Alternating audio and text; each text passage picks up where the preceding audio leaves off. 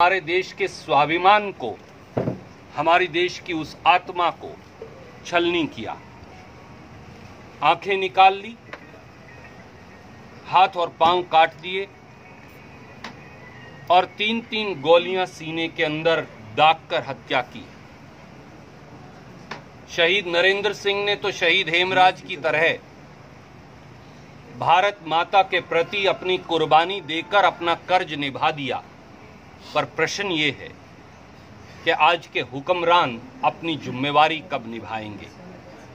कहाँ गया छप्पन इंच का सीना और कहाँ गई पाकिस्तान को दिखाई जाने वाली लाल आँख? कब निर्णय होगा पाकिस्तान के साथ कि वो आए दिन हमारे फौजी जवानों के शव शत विषप्त कर उनकी इस बेबाक तरीके से हत्या ना कर पाए? क्या प्रधानमंत्री जी की आत्मा, अंतरात्मा उनको कचोटती नहीं? क्या सरकार के पास कोई शर्म नाम की चीज़ बची है? अब जवाब देना पड़ेगा। ऐसा लगता है कि सरकार बेईमानों को लेकर ज़्यादा चिंतित है, बजाय देश के फौजी जवानों के। पाकिस्तान को क्रिकेट बैट तो भेजते हैं, पर देश की सेना के लिए बैटिंग कब शुरुआत करेंगे प्रधानमंत्री जी? आज। हरियाणा नहीं, पूरे देश के लोग ये जवाब मांग रहे हैं।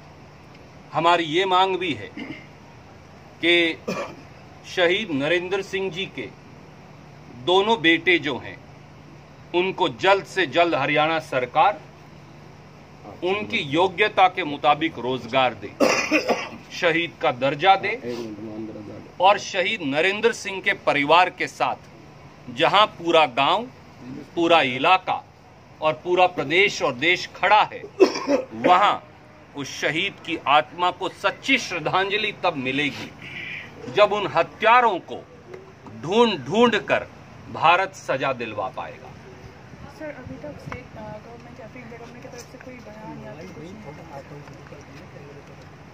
यदि जैसा कहा गया ये हम सबका दुर्भाग्य है कि सैनिक शहीद हो रहे हैं। शहीद नरेंद्र सिंह ने भारत माता की रक्षा करते हुए सर्वोच्च कुर्बानी दी। शहीद नरेंद्र सिंह ने इस बात की परवाह नहीं की कि नौ घंटे तक पाकिस्तान के, की सेना ने उनको कर